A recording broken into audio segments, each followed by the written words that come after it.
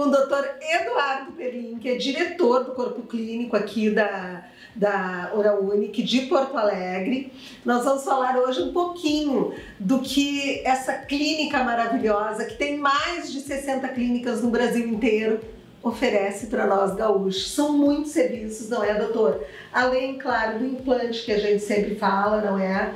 Uh, a Oral Unique é referência quando falamos em implantes, de todo aquele tratamento dentário, de aparelhos ortodônticos, que mais que temos? Todos os tratamentos que pode ter a odontologia nós oferecemos aqui. Inclusive muitos pacientes vêm até hum. aqui buscando uma cirurgia maior e ele fala, ah, porque eu vi oral único implantes, eu pensei que era só implantes.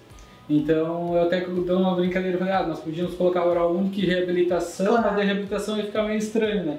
Então, porque realmente a gente reabilita os pacientes. Então, independente do que ele tenha necessidade, a gente oferece tudo aqui dentro da clínica. Claro, e até porque uma clínica que está preparada para fazer implantes e com muita excelência, com certeza está preparada para tudo, não é, doutor? Sem dúvida, né? Muitas pessoas nos, nos, procuram devido à questão da estrutura.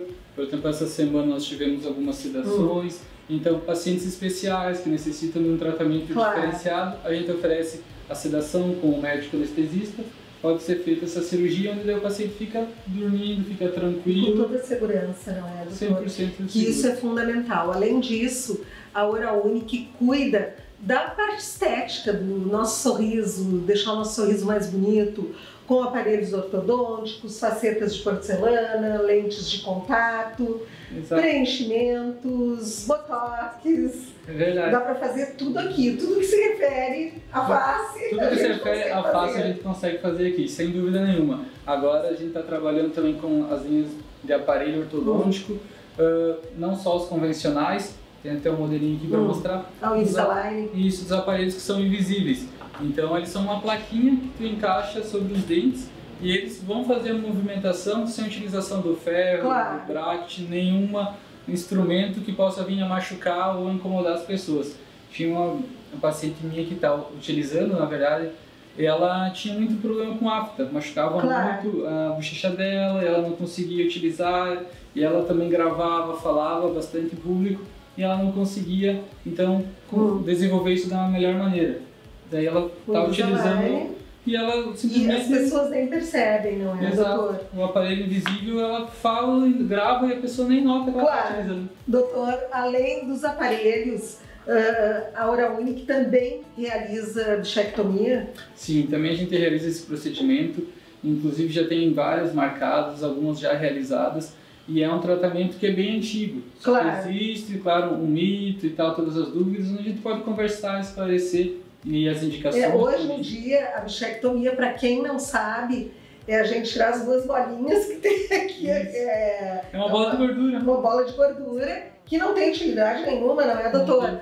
Mas que deixa a gente com aquela. Um aspecto de maquiagem, é, como blush. se tivesse passado blush, não é? E hoje as pessoas, muita gente usava antes porque mordia essa bolinha de gordura. Os bebês têm aquela bochechinha em função hum, da, dessa da bolinha de gordura, não Isso, é? até porque a face ainda está se desenvolvendo, então ela ocupa um espaço maior da face. Uhum. Conforme o osso vai crescendo, vai se desenvolvendo a face, ela vai ficando presa, digamos, ali entre a musculatura, dando esse aspecto mais gordinho aqui quando tu faz a incisão internamente e remove ela, dá aquele aspecto maquiado. Sim, uma coisa mais adulta, não é? Mais Tanto para o homem quanto para a mulher, não Sim, é? Não, não Me diz uma coisa, doutora, a bichectomia antes ela era feita porque a pessoa podia machucar, mordia em cima, não é?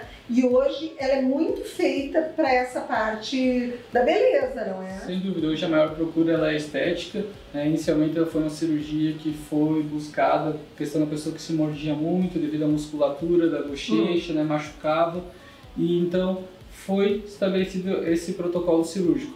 Mas pela questão de melhor estética, de diferença né, na face que ela gera, acabou se utilizando muito mais para a parte estética, mas ela não tem nenhum prejuízo para a saúde. É, e o que é bacana é que essa harmonização facial, não é, que a gente pode uhum. chamar assim, ela é feita por profissionais extremamente qualificados para isso, porque tu pode fazer um preenchimento, fazer a bichectomia, mas tem que ser tudo muito harmônico, não é, doutor? Sem dúvida. A harmonia como todo é o que leva assim a beleza, né? Porque nenhum procedimento deve sobressair ao outro. Claro. Tem que ficar como um todo o rosto harmônico, nenhuma parte, o olho, o dente, a bochecha nada deve chamar mais atenção do que a outra. A bichectomia faz a nível ambulatorial e vai embora? Faz a nível ambulatorial e vai embora, volta na semana seguinte para nós ver como é que está o paciente, tirar os pontos, a gente passa todas as recomendações hum. necessárias, mas é um procedimento bem tranquilo. Bem simples, não é? Uhum.